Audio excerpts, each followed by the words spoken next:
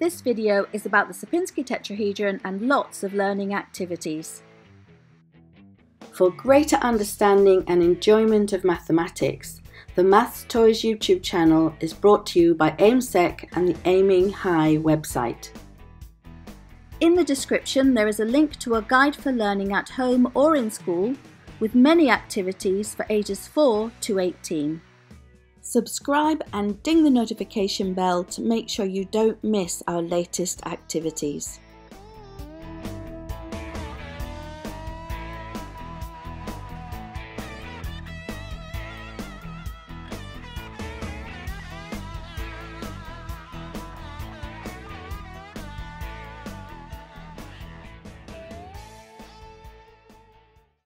Building the stages of Sierpinski triangles and tetrahedra. Here we see in two dimensions the different scales for triangles. And on the top two going from left to right we see a stage two and a stage three Sierpinski triangle.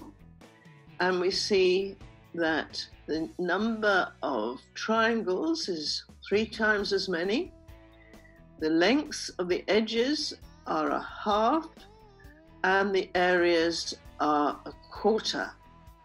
Now below you have the arrow going from right to left and going from stage 4 to 3 to 2 to 1 to 0. And each time we've got a third as many triangles. The lengths of the edges are doubled, they're getting bigger. Areas are multiplied by 4 and we say that is a linear enlargement scale factor of 2.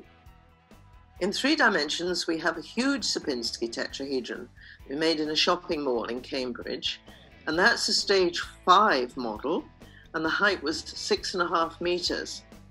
Below, the models on the table that you see reflected there on the glass, they're five models going from right to left stage four, stage three, stage two, stage one, stage zero. Now, each time we have a quarter of the number of tetrahedra, the edge lengths are doubled, the area multiplied by a scale factor 4, and the volume multiplied by a scale factor 8. Now there are two models both constructed in exactly the same way, both stage 5. The edge length of the bigger one is 25 centimeters. That's the edge of the smallest tetrahedron in the model. The edge length of the smaller one is 8 centimeters. So finally, the height of this big one is six and a half meters, and the height of the smaller one is just over two meters. Here are the two models, one superimposed on the other, and you can see how much bigger the red one is. The linear scale factor is 25 to 8 or 3.125 to 1. I've got a few of those. Here's a bigger one. An even bigger one. Now we have six ways to make these Sierpinski tetrahedra, and you can make them at home quite easy to make and the materials are not too difficult to find. For the paper model you can use A4. We used A5 which is half of A4.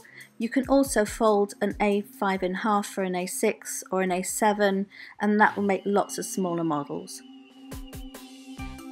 Take four tetrahedra, put the strongest apex on top and tape them all together. You now have a stage 1 Sierpinski tetrahedron.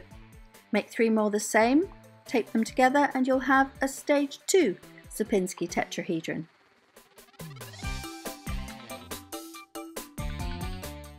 We made a stage 4 Sierpinski tetrahedron as part of a workshop.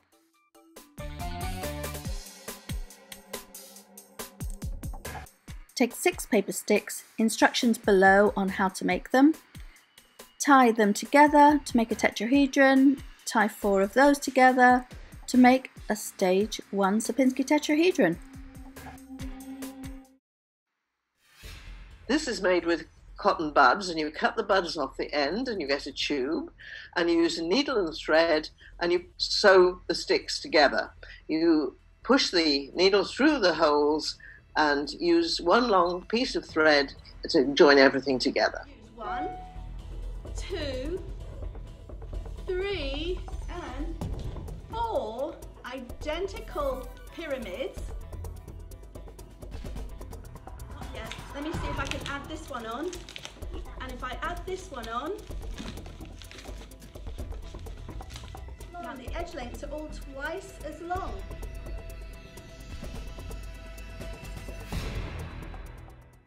And this is how we built the Sierpinski tetrahedron that won the Guinness World Record. Yay!